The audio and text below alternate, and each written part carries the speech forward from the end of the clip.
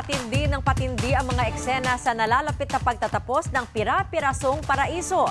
Bago natin malaman kung may happy ending sa Paraiso Sisters, eh makakasama muna natin ang isa sa mga bida nito, Charlie Dizon.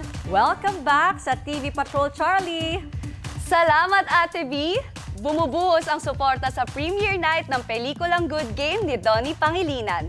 Looking forward naman si Bel Mariano sa kanyang album launch ngayong weekend. Nagpapatrol, MJ Felipe. Inanunsyo ng Miss Universe Organization ang bagong partnership nito sa isang bigating kumpanya sa Mexico. Nakipagsanib pwersa si Raul Rocha, ang CEO at President ng Legacy Holdings kay JKN Global Founder at CEO Ann Jacra Chutatip. 50-50 ang ownership para sa merging ng kumpanya na ngayon ay tatawaging JKN Legacy. Si Rocha ay matagal ng pageant fan at franchise owner din ng Miss Universe Mexico. Sa kabila ng mga pagbabago sa Miss U, mananatili pa rin ang rule changes sa pageant gaya ng pagtanggal sa age limit at pagbubukas ng kompetisyon sa mga kasal at single mothers. Sa ngayon ay puspusan na ang paghahanda ng kumpanya para sa 73rd Miss Universe na gaganapin sa Mexico ngayong 2024.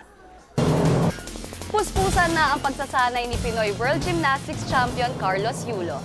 Lalo't halos anim na buwan na lang bago ang Paris 2024 Olympics. Si Yulo ang isa sa mga Pinoy athletes napasok na sa Summer Games at naghahangad na makapag-uwi ng gintong medalya. Nagpapatrol, Dayan Castillejo. Nagwagi ang ABS-CBN ng tatlong prestihiyosong parangal sa 20th Philippine Quill Awards. Ginawaran ng Award of Excellence ang online fundraiser program ng Kapamilya Network para sa mga nasalanta ng Bagyong Odette noong 2021. Ito ay sa pamamagitan ng 100-day donation challenge o ang kampanyang tulong-tulong sa pag-ahon, isang daan sa pagtutulungan. Kinilala rin ang internal campaign ng ABS-CBN na Act as if you have the virus na layong mapigilan ang pagkalat ng kaso ng COVID-19 sa loob ng kumpanya. Iginawa din ang Award of Excellence para sa kampanya ng ABS-CBN na Handa Ka Na Ba na layo namang paigtingin ang pag-iingat at paghahanda ng kapamilya employees sa sunog at lindol. Ang Philippine Quill Awards ay kumikilala sa husay sa larangan ng komunikasyon na iginagawad ng International Association of Business Communicators Philippines. Sinagot ng Star Magic ang mga kumakalat na issue tungkol sa karera ni Daniel Padilla. Kabilang dito ang mga tanong kung mananatili pa rin bang kapamilya si Daniel o aalis na ba siya sa bakuran ng Star Magic. Ang sagot alamin sa pagpapatrol ni MJ Felipe. At syempre, maraming maraming salamat kay Charlie. Thank you po. Thank you. At bakit natin dapat abangan yung nalalapit na pagtatapos ng pira-pirasong paraiso? Nako, una sa lahat po, gusto ko magpasalamat sa lahat ng sumusuporta at sumusubaybay sa Pira-Pirasong Paraiso. Simula pa lang po nung sinamahan nyo kami buuin ng mga kwento na tila puro kasinungalingan.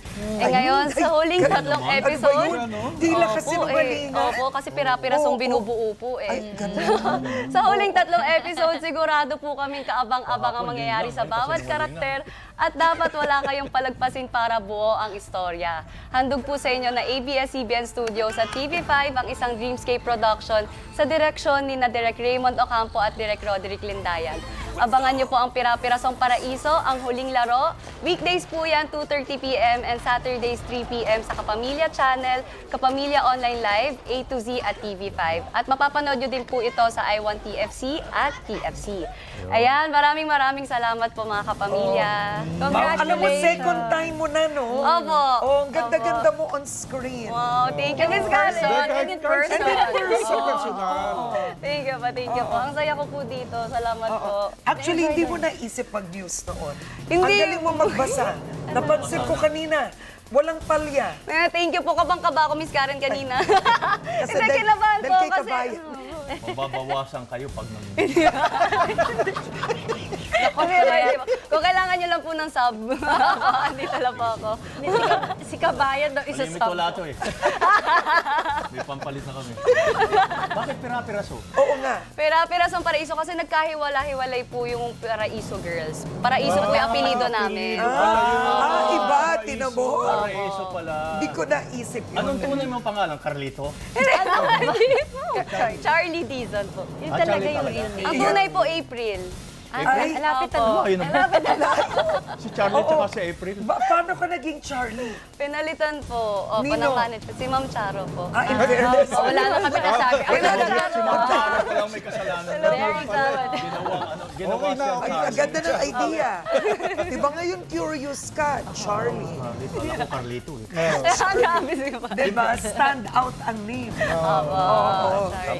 Ina, inano lang niya sa pangalan ni Ma'am Charo. Charo. Charlie. Oo nga. Nakainom ka na. Oo, ka na.